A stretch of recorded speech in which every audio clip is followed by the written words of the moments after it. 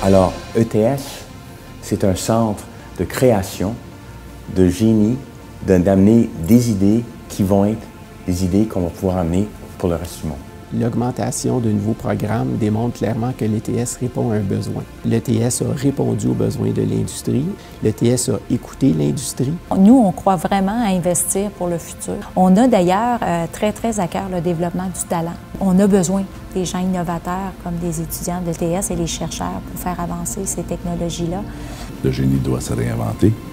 L'ETS est un acteur important dans le développement d'une nouvelle vision de comment on participe à l'avancement de notre société.